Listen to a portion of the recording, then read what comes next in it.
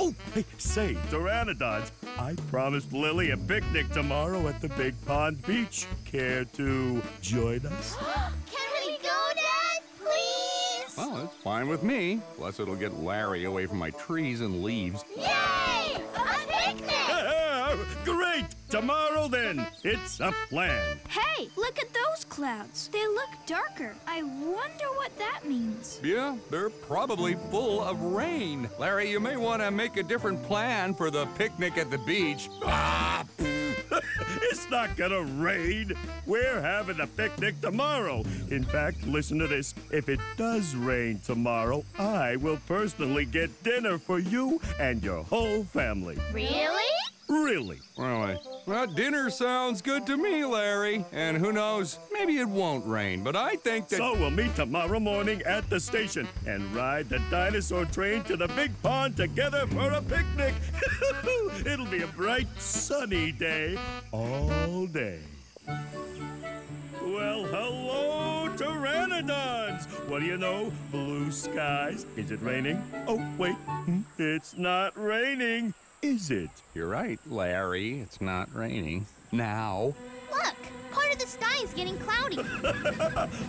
Let's not start with that silly clouds or water and make rain talk. Hello, Pteranodons and Lambeosauruses. Hello, Mr. Conductor! We're going to the big pond for a picnic. and it's a perfect sunny day for it. No clouds or rain to get in the way. Uh, really? I can't believe it. It started to rain. Okay, kids, hop on board. All aboard! Mr. Lambeosaurus, all aboard. Hmm, it sure looks like the rain is coming from those clouds. sure does, Don. Mr. Conductor, what do you know about clouds? Everything? Well, not everything. Uh, That's why I like to explore, so I can learn more. And I do like clouds, Miss Tiny. Clouds form when air is heated by the sun.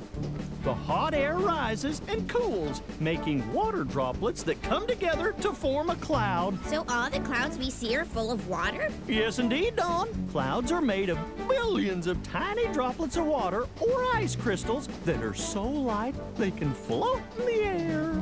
Oh, God! So then why do the clouds make rain? Excellent question, Shiny. I agree. And the answer is simple. When a cloud becomes too heavy with so many drops of water, it has to release them. So it rains. But what always fascinated me about clouds were that there are different kinds. Voila! Don't they look different from each other?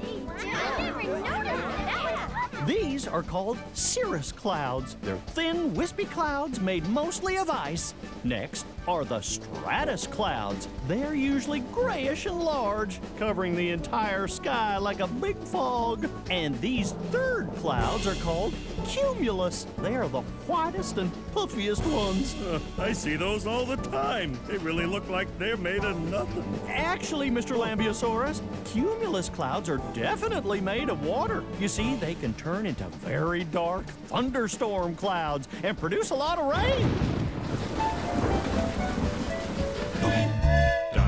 Once upon a time, there was a mom. Her name was Mrs. Pteranodon. Sitting on her nest, she heard a scratching and said, Oh boy, my eggs are hatching! One by one.